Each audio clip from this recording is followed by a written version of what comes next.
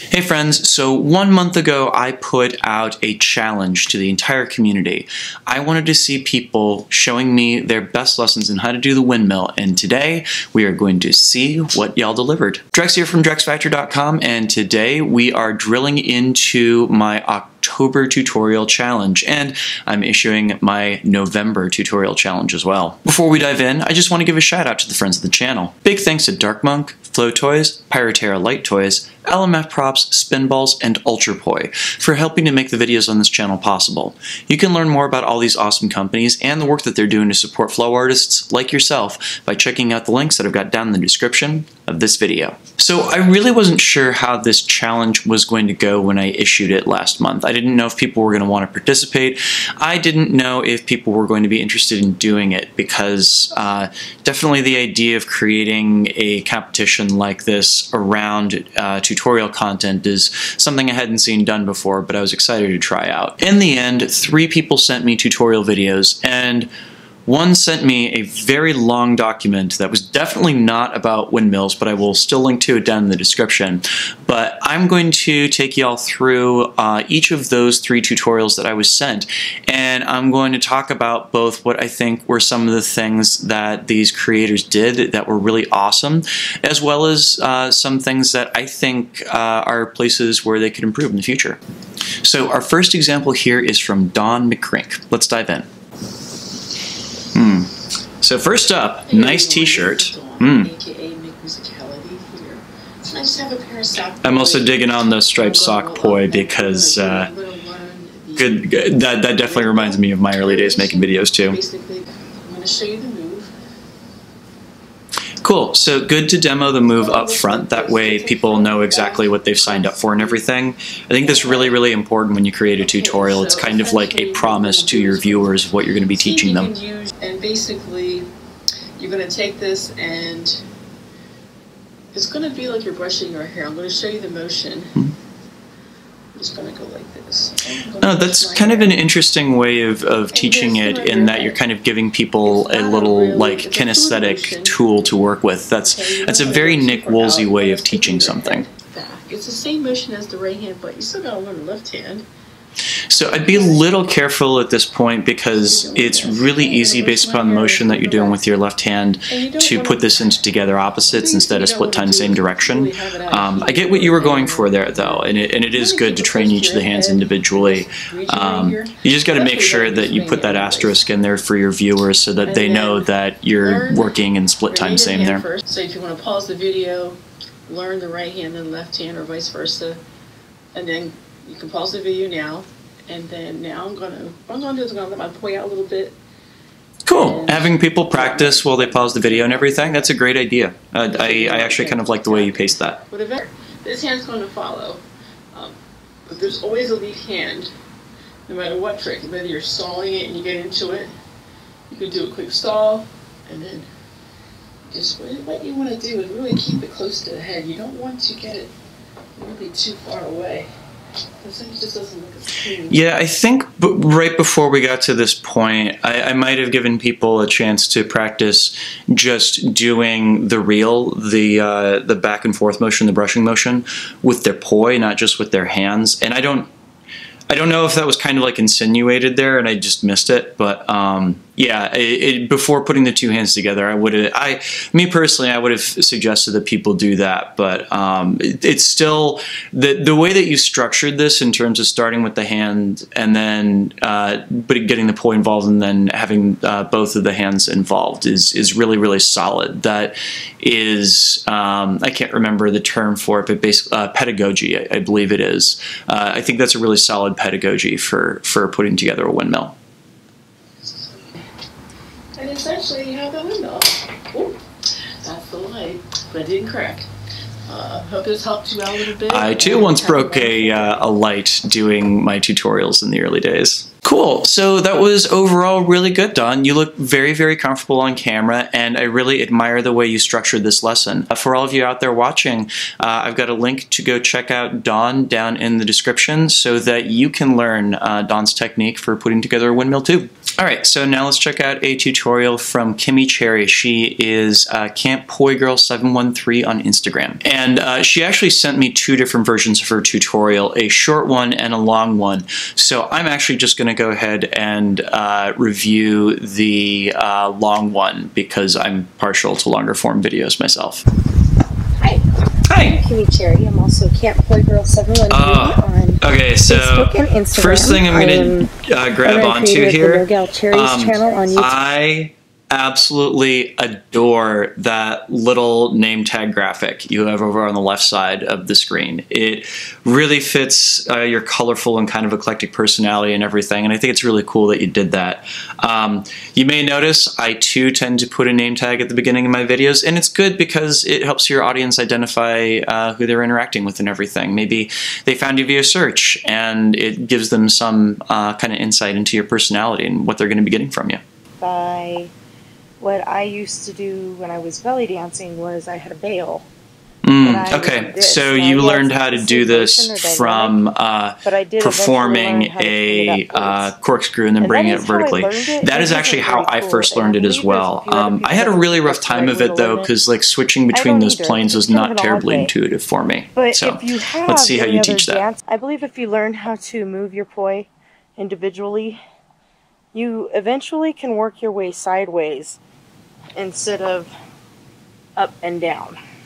Okay, so, So- you're basically having people do a reel with, with one one. hand while the other one stays in front. you I mean, that, that that's cool. I mean, um, that's definitely a good way to get and this is the people working with know how to both it. poi in a way that is relatively low impact. Oh goodness. Okay, so um, we just got a very large block of text on the screen, which um, again is in that awesome uh, motion graphics box thing and everything, which I love the graphic. Um, there's a lot of text here though. If it were if it were me doing this, what I might do is actually like show video of myself doing this trick in slow-mo and pull up each like individual idea in this in like the corner or the side or something like that because I, I appreciate actually the written instructions. I think that's good because um, there are definitely some people that have an easier time reading an idea and kind of getting into it and everything. My one quibble here is that it's covering up the footage of your actual spinning. So like in terms of like kind of reinforcing the the knowledge and everything if you're going to have like text that you're giving people and everything, it really should tie into um, content that people can see. Um, you're, you're asking them to start by spinning their poi in split time same direction, that they see footage of somebody spinning in, in split time same direction in there and everything. Um, again, I think that reinforcing a lesson with text is great, and I love your motion graphics here. But yeah, I really like making sure that people can still see um, what you're doing as that text pops up. I think is really, really crucial for reinforcing that lesson.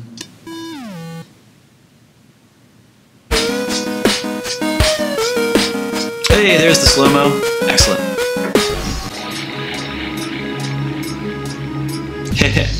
No, and I think it's cool that you're showing that in flow towards the end of the video as well. You know, that gives people some additional content to kind of inspire them as to what can I do with this windmill and everything. So that's that's really cool. Cool. So uh, Kimmie Cherry, thank you so much for that wonderful tutorial, and keep up the good work. Um, one thing I really do want to emphasize in all this is that at times it might seem like I'm being a little critical, and part of the reason for that is I want to help give people tips that took me way too long to learn myself. So um, I, I, I hope you keep on making those, and I hope you uh, do another tutorial for the coming month because I would love to see where you take some of these ideas uh, if you uh, if you go and make another tutorial. Yeah.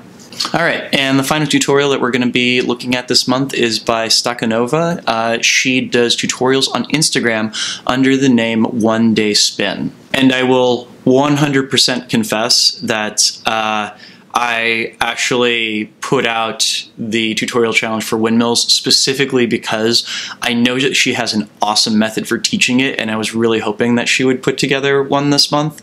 So, uh, happily, that's exactly what happened.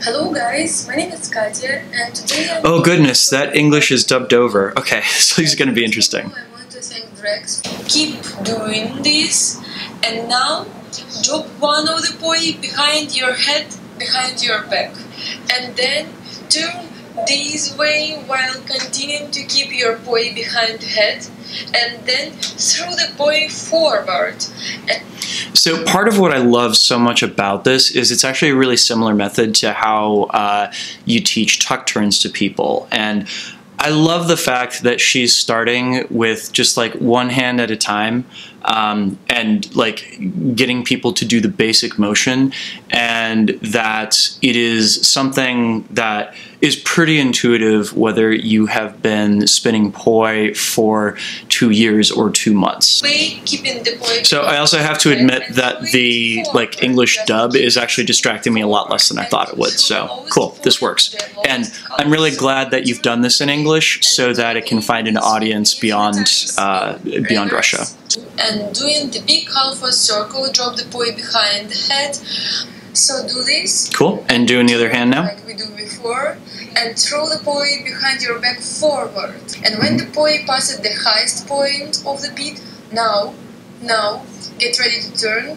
So turn doing the big half. Oh, that's interesting. Okay. So normally when I teach reels in split time, same direction, um, I only have people pay attention to the lead poi. I almost never talk very much about what the poi that's following is doing. And what's really, really interesting about the way you're doing this tutorial is that you're making it as important to talk about how the turn works for the following hand. and throw forward. And so that's all. If you get this, uh, so you're ready to combine both hands. So take poi in both hands. Start spinning. First right hand. Cool. So now we're working up to two hands. Awesome. Point is in the lowest point of the beat. It's split time spinning. So you need exactly. And I really love that you're talking about split time as you're demonstrating it to reinforce that knowledge. Spin in the same throw the poi in the right hand behind the hand first, and then the poi in the left hand. Stop here for a moment, turn like we did before, and now again through the right poi first forward and then the left one. It is very impor- important the right Cool. And I love it how you're chaining these together. left. Spin here for turn again, spin in reverse, right, left, turn, right. Cool. left. And I love how you're building up speed with it now too, so that you're building up to something that's more smooth. That's fantastic. The extra behind the head. Turn and here throw it forward and do the big circle in front of you. Throw again. Cool. So here's what I love about what you just did.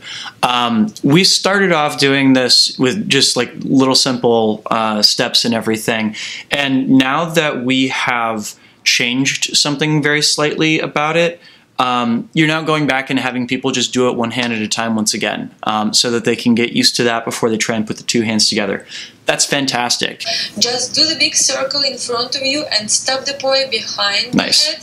Throw it forward and stop it behind Yeah. the head. And, And I love how you're speeding it up with just the one hand so people can see what it's meant to look like. the left. It will be really good for you if you will do this all near the wall in front of you. Just stand near the wall like me and That's why you're doing it in front of the wall. It's to help people keep it in plane. That's slick. I didn't catch that at first. That's a great idea. Nicely done. please try to do the stop behind the head and the big circles in front. One other thing I just want to point out here, right quick, that is really, really effective in how Stakanov, uh, Stakanova did this tutorial is that the left hand and right hand poi are different colors. Um, a lot of my older tutorials use this technique a lot, and I find it's really helpful because it really reinforces to people that are watching your video um, just how different the movements are with uh, left and the right hand. Try to stand straight and continue to stop the poi behind the head. Nice. Turn the torso. Picking up speed with the two hands. now. And now just turning the upper body instead of the whole body. Position behind the head, and then try to do the circles in front of your legs. And I think it's great that people can see how the beats behind your head are shifting from stalls to being uh, more circles and reels. And then we keep our hands up high. Phenomenal. Straight your arms and I hope that you get this trick and see you in the next videos. Outstanding. Um, so clearly that was just a phenomenal uh, tutorial from top to bottom. Um, from one thing, the pedagogy there is fantastic. I love how you broke down the drills uh, hand by hand and then put the pieces together. And then as soon as you changed the motion that you're having people do, you had them go right back to using only one hand at a time to get used to it and everything. Um, I love this method for teaching the windmill. I really, really wish that uh, I had known this method when I was creating my own tutorials on windmills. Um, so I, I'm so happy now that this is committed to video and everything. I am going to say that uh, you are my pick for the tutorial of the month. It, that that was really fantastic. Um, if I could give one and only one piece of constructive criticism on this, it would be that um, it, it's kind of funny because um, I, I think that uh, the other two tutorials this month did do this, where they started off with a demonstration of the trick before teaching it to people, so people knew what it was that they were going to learn in the lesson. Um, and that's a small thing and everything, and, by, and, and the you, overall the tutorial is fantastic. But if you wanted to go that extra 10% and everything, that would be the place to go. Cool. So thank you to all three of you for uh, showing me those wonderful tutorials this month. And uh, of course, I also want to see more tutorials coming up this coming month. Uh, I would love to see folks out there do tutorials on flowers. Could be in-spin, could be anti-spin, could be both, but I want to see your methods for teaching flowers. And what I'm really hoping is going to come out of this is now that y'all have seen uh, me talking about uh, these videos, that they give you some ideas of how to make your own videos. And I also really hope that some of the people that created tutorials this past month will come back and uh, do tutorials again uh, this coming month in November so that we can see how grow and, and kind of integrate those lessons as, as they do so. So those tutorials on flowers are due to my inbox, drex at drexfactor.com, no later than November 25th. I cannot wait to see them. And of course, I've got links to all of these different videos down in the description. And for those of you out there watching, go check out these tutorials and let me know what you like about them. Maybe you noticed something that I didn't.